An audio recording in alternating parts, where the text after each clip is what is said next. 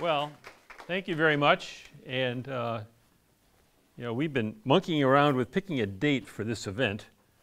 I don't know, months, right? And we picked it a long time ago. And I, I raced sailboats on Wednesday nights on Lake Mendota. And I had my fingers crossed. I really didn't want to give up a night of sailing, but because um, we just don't get that many. But I had my fingers crossed. Well, maybe we won't have a lot of wind. And your lake is like a pancake. And if your lake is like a pancake, the other lake, this lake, is going to be like a pancake. What time, what time do you do that? Oh, they'll be starting in about 25 minutes. Or they'll be shooting off the three guns to cancel the race and go drink beer, which is what, on a night like this, that's what everybody hopes has happened. So let's see here. So thank you all for coming, and just a few words. Is, is my microphone working? Is this all? Okay, good. So uh, with that, you've already heard, I've already said, well, you know, so I moved here in uh, 1976, and I fell in with this crowd of sailors. And I didn't realize how this was going to be. I mean, I'd sailed before, but I didn't realize how this was going to be so formative. And then in the, in the, once fall gets here and seasons begin to change, we put our ice boats, or summer boats away, and we get out ice boats, and we go play with ice boats for several months. And all this means that I really don't have to do an awful lot of work around the house because there's always, you know, one we're involved in one kind of sailing or another. There's these little windows. Anyway, but uh, one of the things that happens in sailing is we spend a lot of time sitting around and talking and telling stories. And it's especially true in ice boating because with ice boating, we say that only about 10% of the time of ice boating is actually spent sailing. The rest of it's talking about ice boats or fixing them. And summertime sailing is not quite as bad. But one of the things that I learned is that uh, there were a lot of people there who I would I always called my elders, my sailing elders, and these were people at these social events who've been probably grew up here, and I, I've now become an elder. That's the age bracket. But back then, you know, everybody had an interesting story, and I would, you know, we'd go to the, a party and sit around and have a beer or two, and all of a sudden somebody's got a new, you know, we'd hear some other story, and these were just idle chat until a fateful trip up to Bayfield in the fall of 2003. Uh, and these, that's me on the left when I had more hair and it wasn't as gray as it is now. And my pals, and together we were the sailors of September, and we would go up to Bayfield for several years um, to go sailing after Labor Day. And uh, one, on this particular year, this was 2003, just to give you a benchmark, uh, the guy next to me, my friend Steve, had just taken a job as a captain for Betty Lou Cruises. And so we were all excited to hear about his adventures as a professional mariner on Lake Mendota and what kind of stories do you tell or do you have a script? And, you know, he had a few, and, and, but slowly I began sort of unraveling all these ice boating and sailing stories. And everybody, the other two guys, the other Steve and the other Don, they had stories too, but they all ran out of gas about Wausau. And I sat in the back seat prattling along, telling, oh, that reminds me of this or that. And we finally get up to Bayfield. You know, what is five hours to Bayfield? We finally get to Bayfield.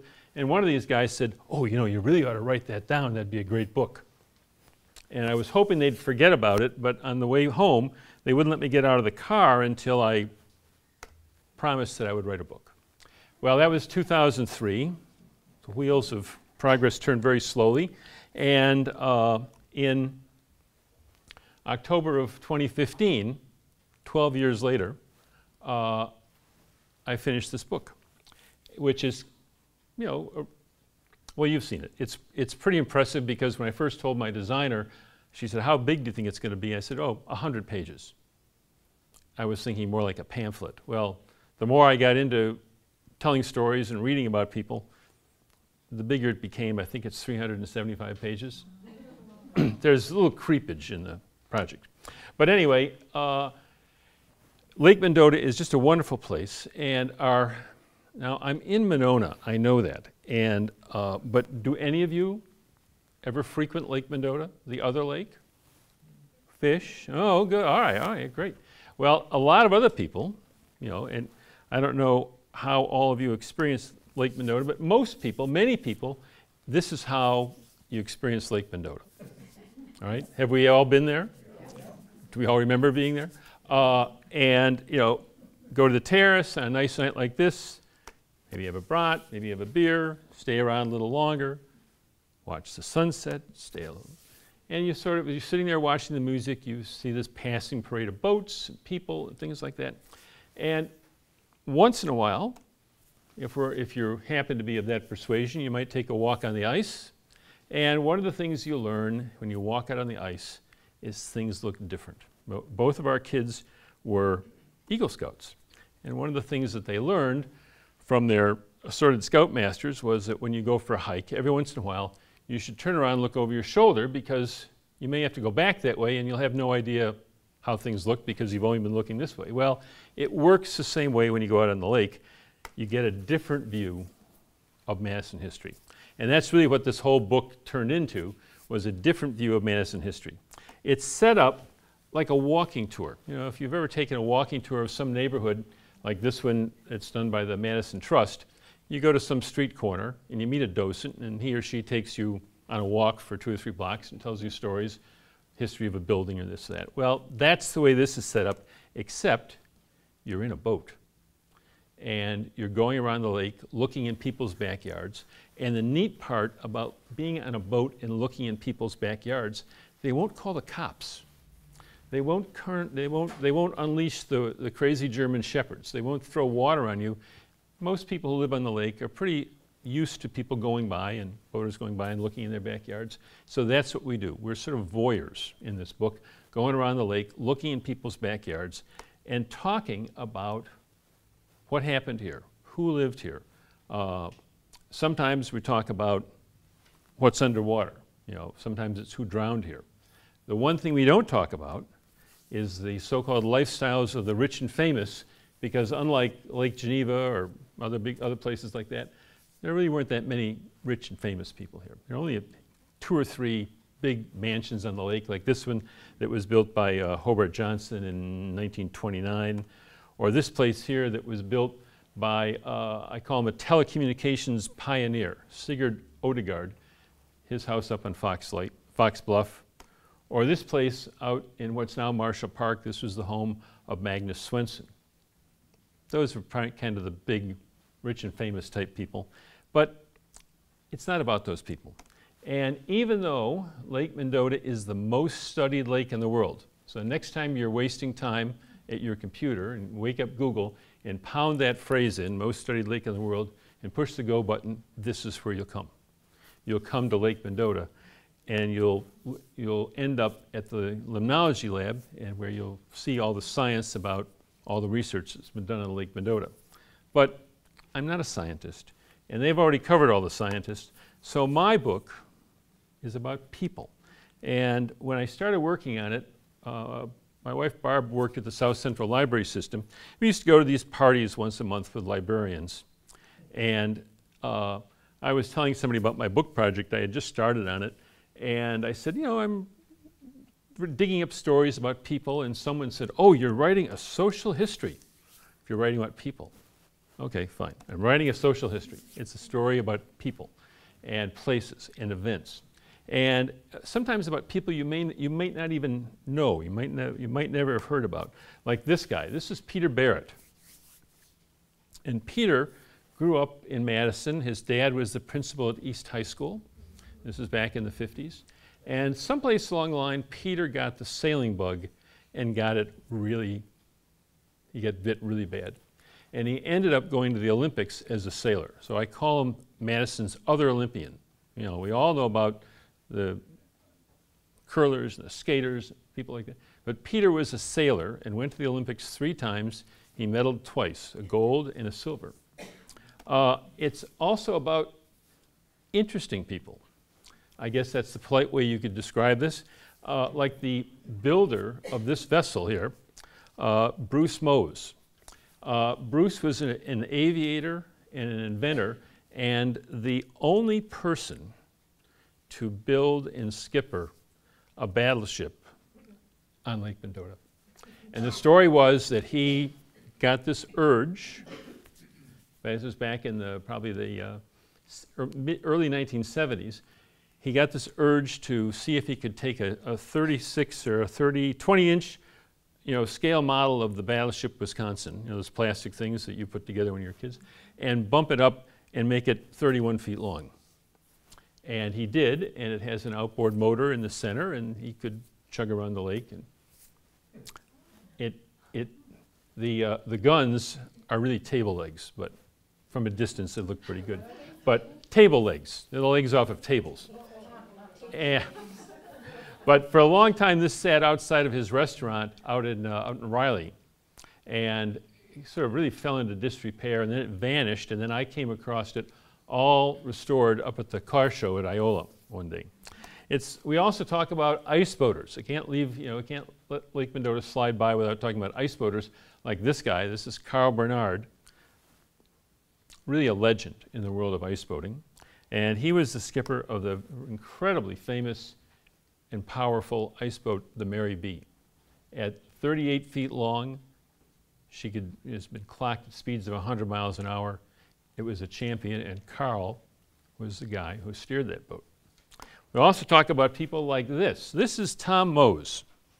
Tom passed away, unfortunately, a few years ago, but Tom grew up on Lake Mendota. His dad was uh, the famous cancer surgeon, and but Tom and his brother Fred were water rats through and through. And I'll just read you one little piece out of here, a little story that Tom gave me. And it's here someplace. Uh, this is a boat that he built when he was 14 years old. And so uh, Tom is talking about summer at the Shorewood Beach. And uh, from the early 1950s to the early 1970s, the village of Shorewood Hills maintained a swimming pier at the Shorewood Boathouse. Uh, and Tom says the pier went out from about the middle of the concrete wall in front of the boathouse. About two, two thirds of the way out, there was a 50 foot pier that extended to the left, and at the far end of that pier, about 175 feet from shore, there was a large platform with a diving board at the far northwest corner and a high dive platform, platform maybe nine meters at the far northeast corner. Boats stored in the boathouse were rolled out and launched at the east end of the pier. If we went to the beach by water, we tied up our boats on the east side of the pier. There was a small sandy beach just west of the boathouse.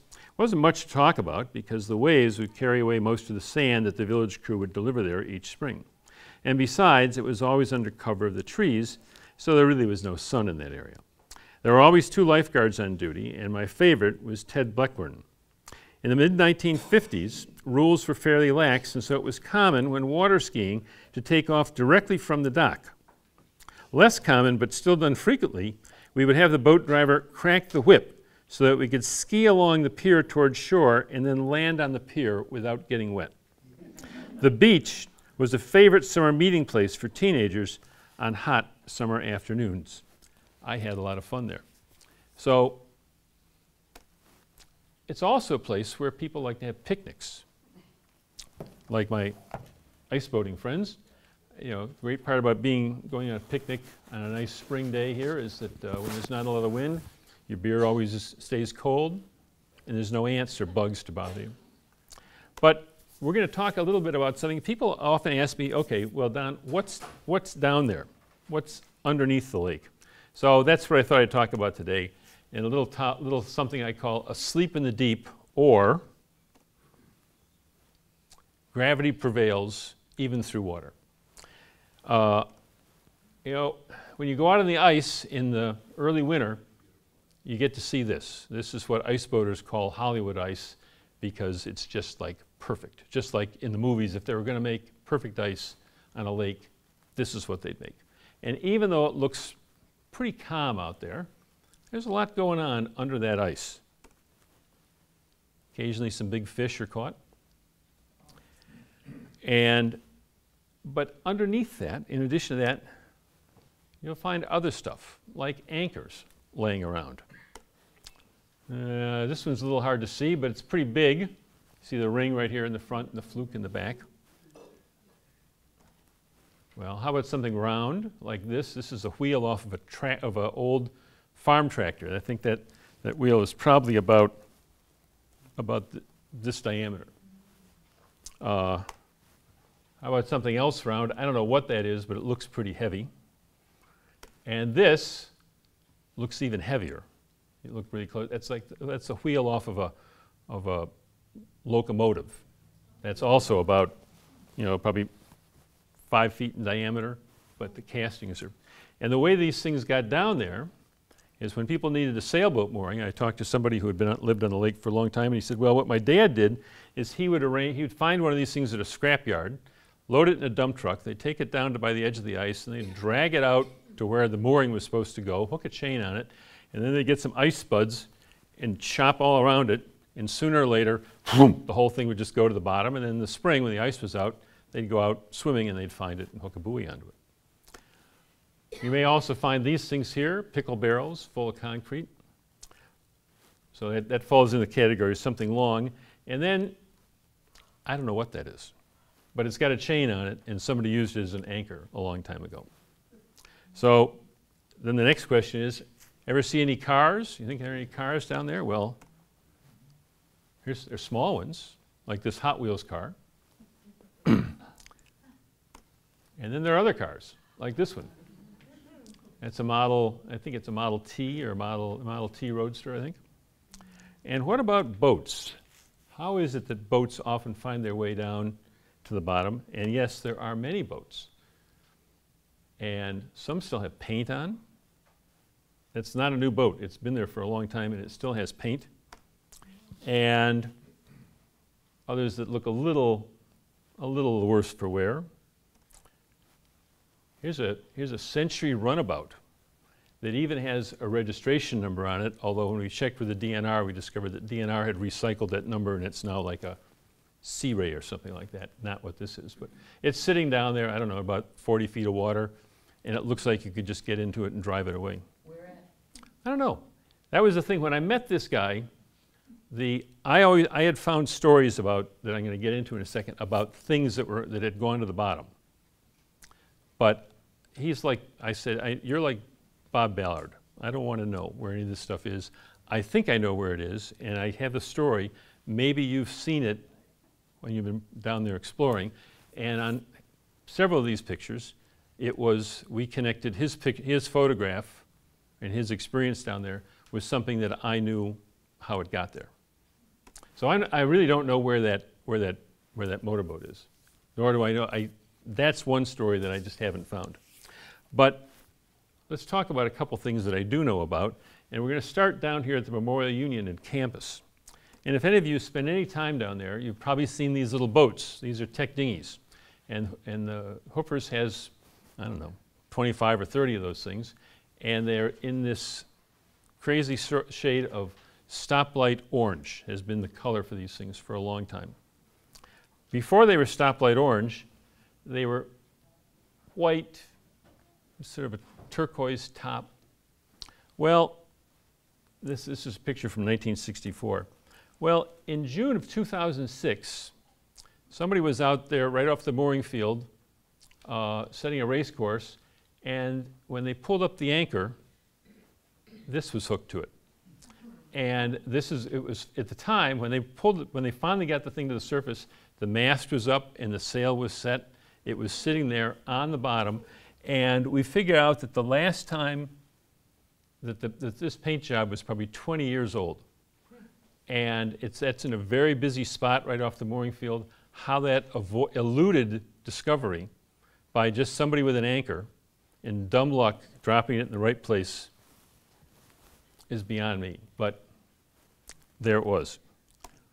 Um, when I was a kid growing up in Casanova, I was fascinated with scuba diving. This was in the era of Sea Hunt, if any of you.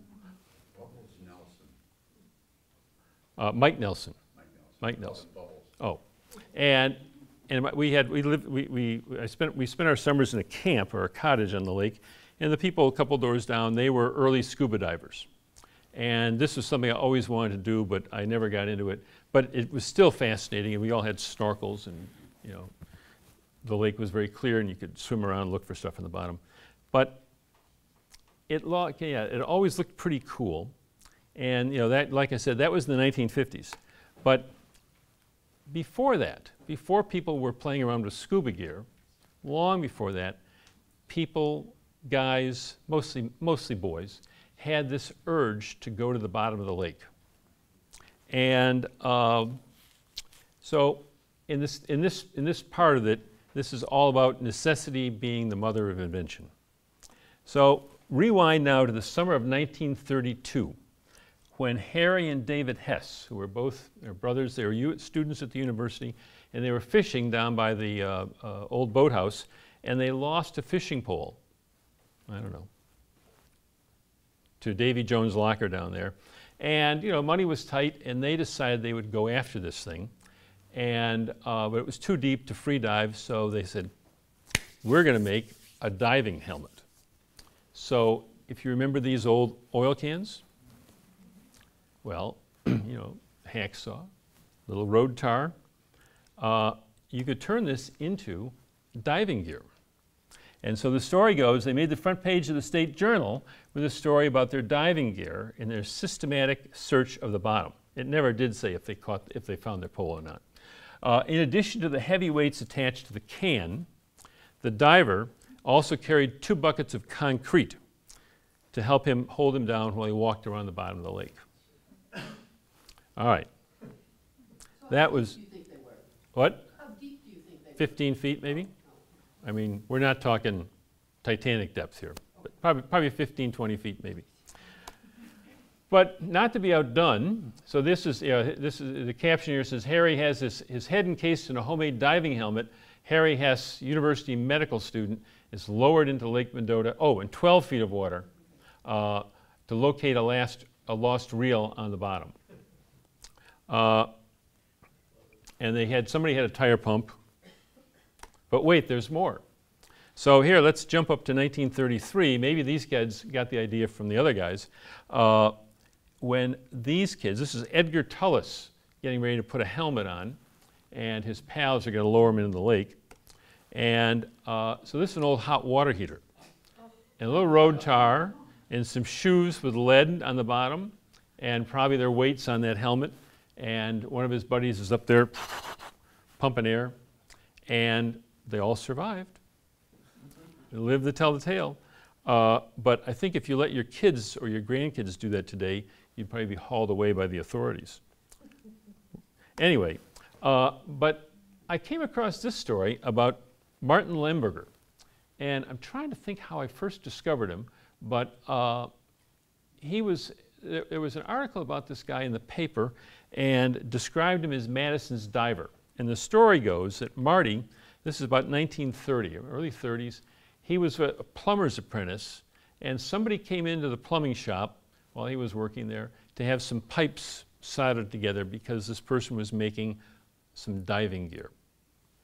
And Marty didn't know anything about diving, but the more he worked with this guy and made these parts, the more interested he got. And so after the, this guy's diving helmet was completed, Marty went out with him and decided this was pretty cool. And being a plumber and more experienced than the guys who were making stuff out of hot water helmet heaters, he built his own diving gear.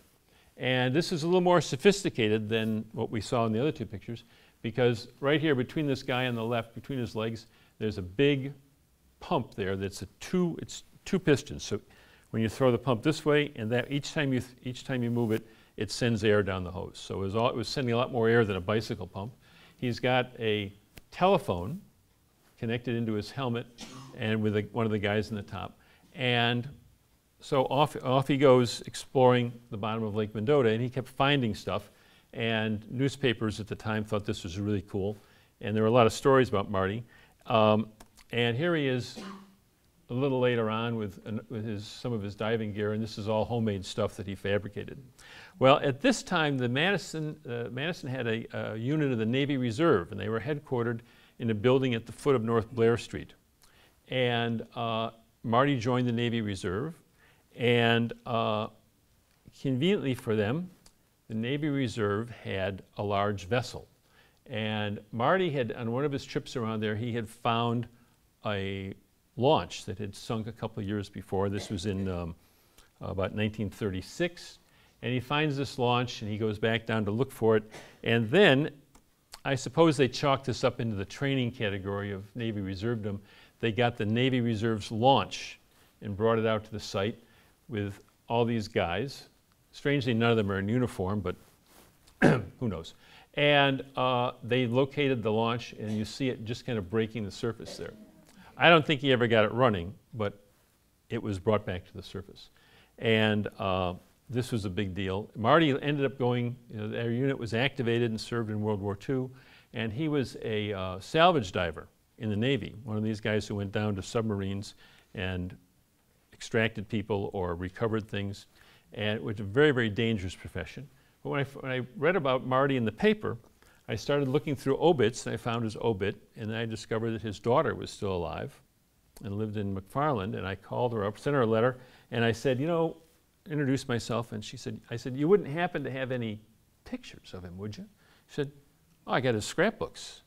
You want to come over? And she had this huge collection of photographs of his that were taken, you know, sometimes professionally, sometimes amateur photographs of him. Uh, that's where all these came from. I would just hit the jackpot with her.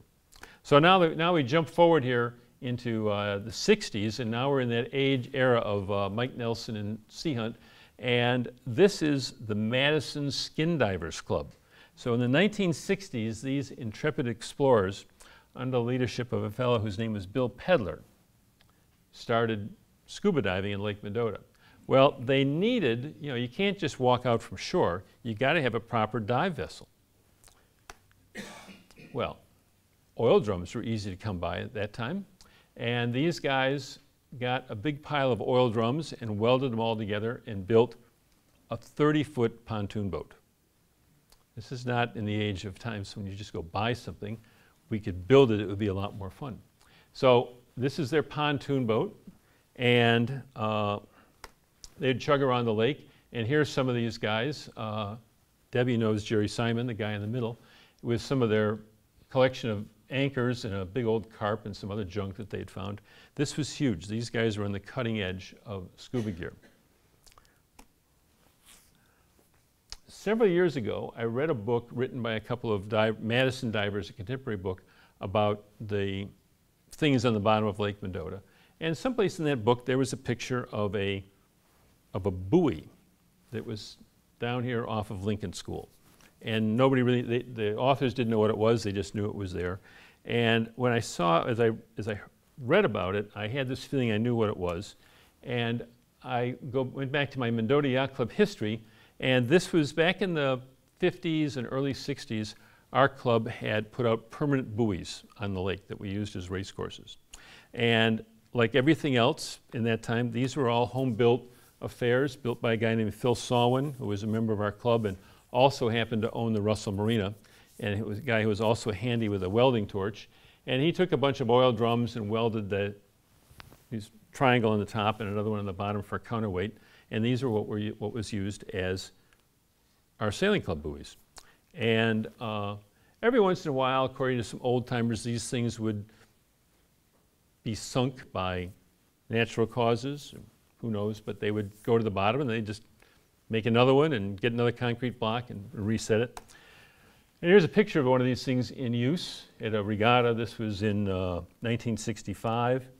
So when I finally got a hold of my friend Rick, and I asked him about that buoy off of, off of uh, James Madison Park, off of uh, Lincoln School, he said, oh, I've got a picture of it. And he sent me this kind of murky, use your imagination picture. But then there was another picture and the more we looked at the detail, the more I knew exactly what this was. You see at the bottom, covered with seaweed, is the base of that buoy. And then there's things that go up with a triangle support at the top. So I solved the mystery for Rick, who was just going crazy to understand what this thing was and why there was a little spinner on the top. Um, there's a great Hank Williams song called A Six Pack to Go. I won't sing it for you now, but that has a big connection out here because amongst the pictures that Rick sent me one day was this one he'd taken about 600 yards offshore near Shorewood. of a 12 pack, 24 pack, maybe it's a case, still had a few cans in it, resting on the bottom. And uh, he said, So, Don, here's today's riddle. How do you think this got there? Well, I, we compared dates, and I said, I bet you I know. and I was out ice boating one day, and we were, I was buzzing along, and this, this shack had been sitting over, there's the cove, sitting over there offshore for too long in one spot. You know, you're supposed to move those things around so the ice underneath doesn't get soft. Well, these guys forgot to move it, and all of a sudden, gravity took over, and it was headed for the bottom. Well, there was no, there was no way that I was going to touch it while it was out there. It was still pretty encased in ice. That's my ice boat back there. But I saw the satellite dish and went, oh man, this is not good. That's an expensive capsize right there. Well, Rick shows me the rest of the pictures. And in addition to the case of beer, several fishing poles, there was a Honda generator down there, all kinds of stuff that, that they later had to retrieve. Uh, in the 1960s, the University of Wisconsin formally stepped boldly into the depths of Lake Mendota when it launched the Habitat. This was in 1975. Somebody in the engineering school had gotten this idea that there was some, some grant money out there to do underwater physiology research. We were always start, already studying limnology, but there was an idea to do some underwater physiology research. And this guy happened to be traveling around the state and he came across a stainless steel tank, about the size of what you'd find in the back of a milk truck, that somebody had used, uh, was, was trying to you know, make wine in. And the whole winemaking business didn't work out so well. And he was just trying to get rid of this big tank. And this uh, professor at the, on campus snagged this thing up and figured that if it was suspended vertically, this would make a great diving bell. And they called this the habitat. And it was built by UW mechanical engineering students under the direction of Professor, mechanical engineering professor uh, Ali Seireg to study, to study underwater technology, exercise physiology, aquatic life, and water chemistry. And all these disciplines covered. And so here's the habitat in December of 1975 when they launched her behind the red gym. Uh, and a little more so it's an 800 gallon stainless steel tank that these students modified to sit in column. And it was 12 feet long, 7 feet in diameter. They'd cut a hole in the side of it as an observation point. You entered up from the bottom down there. And because it had air pressure in it, the water wouldn't come up in it. You just swim up through this hole and pop through the, through the water. Uh, there, was a, there was space for three people to be in there and do experiments. And of course, they needed electricity for this and air, but that was taken care of by a raft that, was, that floated on the surface with a generator and an air compressor so they could send uh, air and electricity down to run all this, these electronics. Well, the habitat survived for, oh, and there was also a heater in here because it gets cold. It was, just, it was, it was launched in the deepest part of the lake where it's about 85 feet. And by adjusting the air pressure inside, they could move that up and down in the water column to. And it was there all winter long. They had a, they'd once the ice was firm, they'd move the air compressor and the uh, generator on top of the ice and run the hoses down that way. Uh, but after several years of excellent service, it really began to show its age, and at some point, uh, it was scuttled. And so, if you were going out there now to look for it, this is what you'd see the once proud habitat is now laying on her side. Um, a friend of mine told me that his grandfather got run over in the middle of Lake Mendota in the dark of night about in the 1920s. He suspected they were out drinking beer, but he wasn't sure. Uh, but he was, he was, he did know that his dad had gotten run over in a boat, and his, you know, it was his grandfather, and his, and it, and had been rescued. It was a slightly happy end of the story. And so we were talking about this one day, and I had kind of found this story. I went back and looked at four escaped death in Mendota as boats collide. And it goes on to explain that the one of the people, occupants in this boat, was Ralph Pearson, my friend Dick's grandfather. And uh, it describes a high speed launch running across the lake without lights that ran over their boat, splinters, sends it into splinters, and sends it to the bottom. Well, finding anything on the bottom of Lake Mendota, even if you know roughly where it is, is like finding a needle in a haystack. But I talked to my friend Rick one day, and we knew this happened sort of off of Shorewood. And he said, Well, here's a bunch of photos that I've got of boats near Shorewood. So we looked at these, and of course, my friend Dick had never seen the boat. He had no idea. But we found this one that we think looks very suspicious because, you know, A, it's old, kind of clunky, but as you go down the side, ooh, here's a suspicious crack. So we declared this a victory that we had found his grandfather's boat laying at rest somewhere in the middle of Lake Mendota and uh, decided it was time to have a beer and end that story. So that's kind of what I got for you tonight, a little bit about what's on the bottom of Lake Mendota. And um, I want to want to do read you one other thing that you know I, I interviewed an awful lot of people for this book. Some people I actually met in person. Some people I just we we our interviews were done on email. Uh, and I've got one story about a woman whose name is Sharon Decker. And Sharon and her family lived in a cottage out here in Middleton Beach Road. Uh, in, this, in this map, which was done in 1897, it was all swamp in there, but it eventually was filled in. And one of the things that I, I learned when in researching this book was that, you know, we always marvel at how salmon manage to swim upstream. They're hatched someplace in the Columbia River, and they go out in the ocean and live their life, and then at some point, something goes, it's time to go. And they find their way back to the spot where they were hatched. And I discovered, kind of by accident, that, that when you're, uh, if you spend any time on a lake or a river, some other body of water, and somebody mentions the name of that body of water to you, you'll go back in the rewind machine so fast and you'll have a, a, recollection of something that happened there to you 30, 40, 50 more years ago. And someplace along the line, I met Sharon, and uh, she told me that she grew up in this cottage. So here's Sharon's story, and this is kind of one of many stories that I've, I've captured in the book. And she says, Our family lived in a cottage at 2215 Middleton Beach Road from 1948 until 1955 or maybe 1956. Our cottage had a tin roof and plumbing, but no central heat or hot water. Our mother heated hot water in buckets on the stove for our baths. Our dad, Charles Steffens, installed carpet and tile for a Madison company named Pedersen's. He loved to fish in the summer and the winter, and he hunted every year. I believe he hunted ducks in the swamp right across the street from our house. Late one night in 1952 or 53, he came in, in his rowboat yelling, Dorothy, Dorothy, Dorothy, from our mother. Uh, well, we all thought that he'd gotten another hook snagged in his hand, but uh, when we got there, we discovered he had a huge northern pike.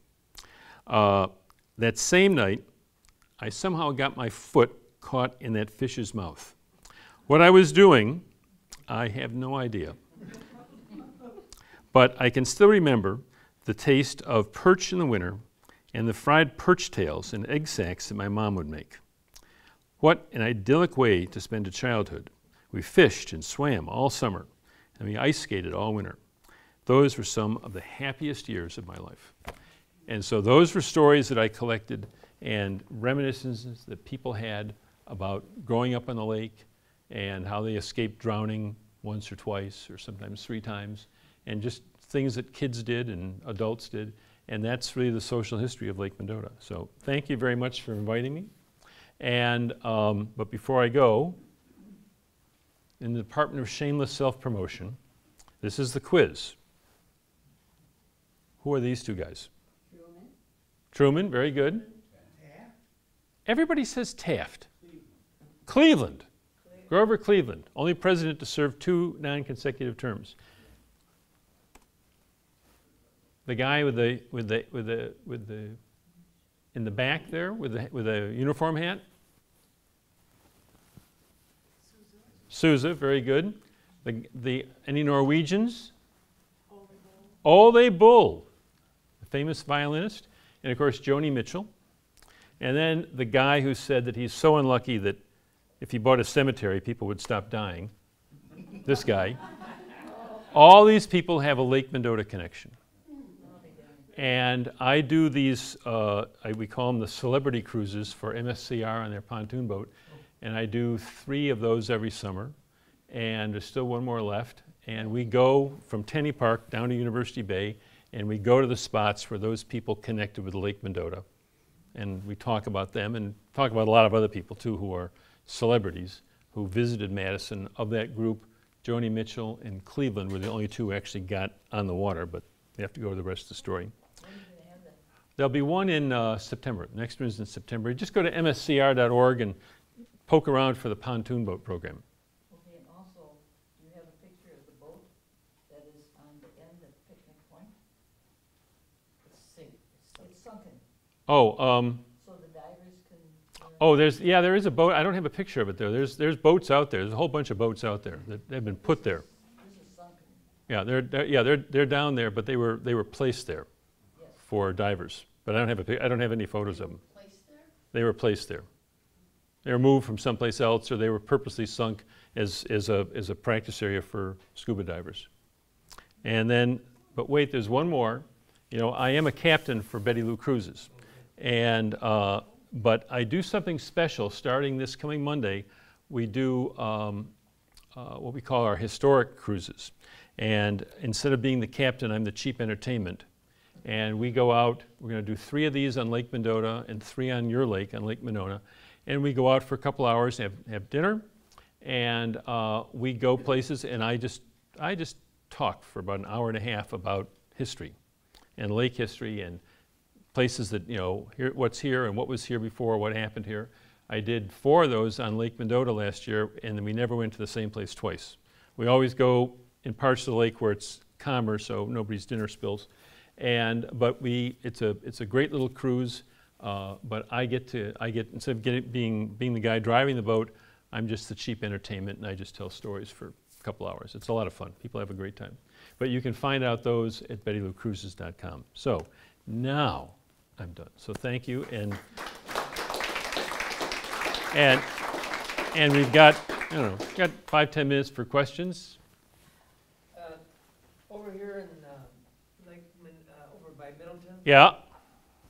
the tale is that the US Army was, was hauling gold across the. Oh, yes. And the gold sank into the lake, did they ever, they, they must have found it yes. No, uh, that, yeah, that's a great old story. And uh, to my knowledge, no one has ever found that. And I'm not turning my back on you. I was just hoping I would find my pointer, but I don't have it. Um, the story was that this was in the 1800s. And there were some, there was a, a some Army officers taking a, a payroll from someplace in Illinois out to someplace in the western part of the state. And it was winter, and there was ice in the lake, and they were getting ready to take a shortcut across the lake, and they discovered there was somebody following them, and more concerned about their lives than the payroll, and realizing that they'd be sitting ducks out in the middle of the lake, they just took that payroll and pushed it over the edge into a hole. Nobody really knows where, and even, even my friend Rick, who's gone all over the lake with uh, you know, his uh, side scan sonar, said he'd never found anything like that. And if you, if you noticed all those boats, what happens over the whole bottom of this lake particularly is all sand at the bottom. And over time, stuff just settles. And so if, they, if it was there, it's probably two feet under sand right now. I heard, I'm eighty-six, and I heard that many, many. Yep, it's a, oh, it's a great story. It's a great story. Yeah. Um, I wanted to know why it's called the fourth lake, when I thought this was the main lake and the rest were all. Ah, that's a good question. That's a really good question. Well, when, when this area was surveyed in the 1830s, the surveyors came from the Prime Meridian, which was down in Illinois someplace, and they worked south to north. That was the way surveying worked in those days, because they had to start from a benchmark somewhere, and that was down there. And uh, the custom apparently was that when, if, if they found lakes that were uh, connected together with a river, and they didn't know what the Native American names were, which they didn't, uh, they were named as they found them first lake, second lake, third lake. There's a chain of lakes like that in New York State, where I, up in the Adirondacks, where I grew up, and I think that maybe go up to like sixth or seventh lake. And there's a couple other places in the country where there are those chains, where they're numbered that way. So they were numbered in the order they were found, and Mendota was the last one they found. And the names were changed in the 1870s, I think, into what we, what we have now. Mostly at the, insist, at the urging of uh, some real estate developers who thought that Mendota would have more panache than Fourth. I agree. Yeah. Yes. One of the stories you hear going back and forth through the locks in the seventies and eighties, for example, was of a sheriff's boat that got a call of an emergency on Lake Monona, and they opened both doors on the locks to let him go roaring through. Is there, have you ever heard that Uh, before? I've, I haven't heard that, that story, but I've talked to other people who recently, a friend of mine was in the Coast Guard Auxiliary, and they frequently patrol on, well, they patrol on Mendota, that's where their boat is, but they often go down to Monona. And uh, he told me that on one occasion when they, during Ironman, when they had to get down there to do this patrol early in the morning, that the sheriff or the lock tender opened both gates and they just shot through there like a cannon with their boat just entering. But it, it, it Can't do that today, I'm a lock tender. yeah, I don't think you can do that now, but Once they, once they rebuild it, yeah, uh, two years ago, uh, there, Yeah. there a lockout, they won't allow that. But you could do it before? Um, I believe so, right, you didn't wanna do that. Yeah, no, I no, know. I- You know, that's really pulling the plug on the bathtub. Yeah. A lot of water moves through there. I'll bet, yeah.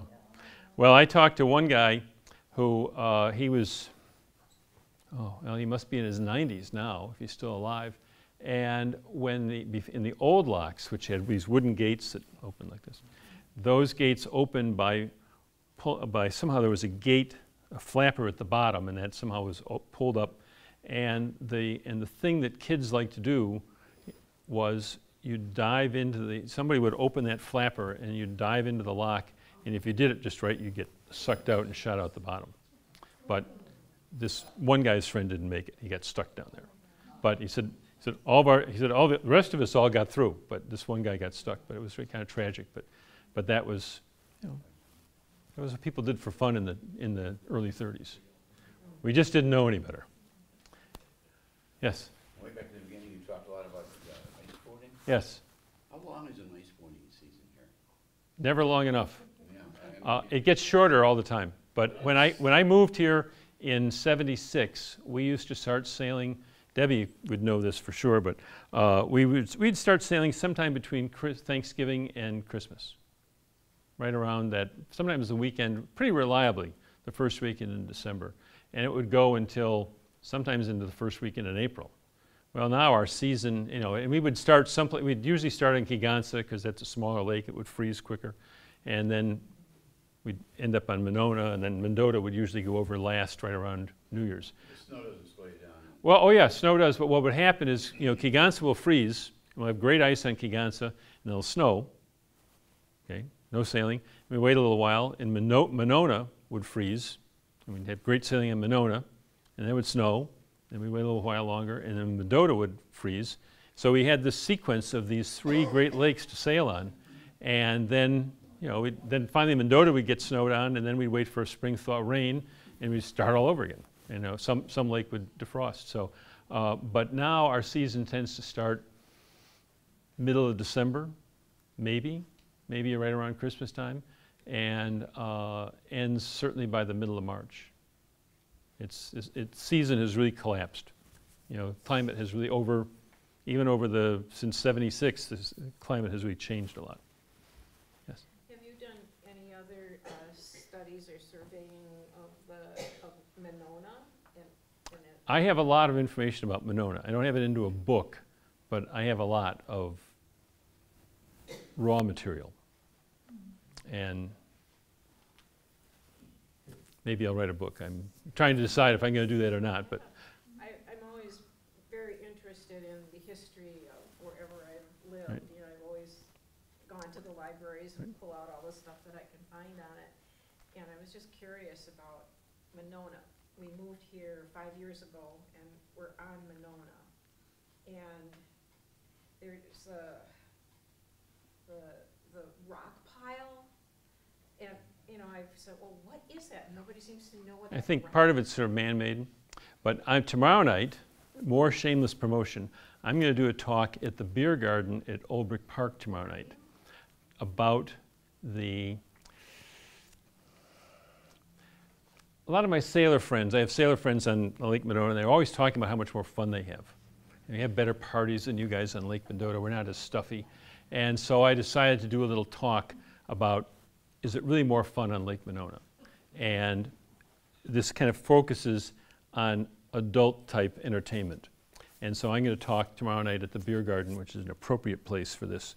Tomorrow night at six for about you know half an hour or so about that. Won't be any slides, but we'll have I'll have some stories and some pictures and things like that. So there's a lot of colorful behavior down there in the back. One time I was, wa- I, Oh. I have to talk about Monona for a minute. Oh, Uh, Back in the forties, us kids used to be able to,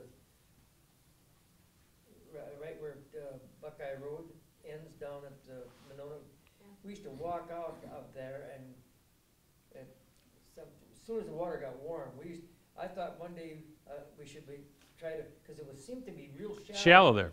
And I wanted to w- try to walk all the way over to the Capitol, you know? Yeah. A bunch of us guys were thinking about it. So we started out and, and all of a sudden I ran into something real hard and I got it up and I hear a great big drop off a motor of a, a That probably intersected with a great big So I rock. took it home and like, I got no money for that. Yeah. Did you uh, have any, or did any stories come up about all the little boathouses on the west end of? Oh, yeah, of yeah. Road? Yeah, that's the, that's the Middleton Boathouse Company. And uh, that was, I can't talk from memory anymore. Uh, just a second. But it's fascinating because uh, before, before there were condos, here's the story about the Middleton Boathouse Company. When a company, when is a company not a business? So located on 300 feet of lakeshore, on the south side of Lake Street in Middleton is a unique development, the Middleton Boathouse Company. It was established in June of 1896 by a group of fishermen who received a land grant from the state of Wisconsin as a place to moor fishing boats. Uh, each member received uh, six, a share of six and a half feet of uh, lakeshore, just enough to pull a boat out of the water. Over time, owners purchased neighbor, neighboring shares and built extravagant 12 foot wide boathouses uh, with small living quarters above them. For decades, this was the most affordable property on the lake. These little boathouses were owned by tradesmen, tavern keepers, police officers who shared the common interest of needing a place to store a fishing boat close to the lake. Many of these structures were passed on from fathers to sons for generations. And the Middleton Boathouse Company was a condominium style development long before anyone ever thought about a condo in today's sense of the word. And you know, I, I know somebody who, who a couple guys who own own them, and they say, you know, it's the cheapest lakefront. Taxes are super low, but you can't live there all year long. They turn the water off on the first of end of October, and they don't. It doesn't come back on again until the first of May. It's you know seasonal, but in the and you know the buildings are small, but you're on the water. That's all that counts. One more, and then we're done. Well, with that, thank you so much. Come and come and come and have a beer tomorrow night. You know, it's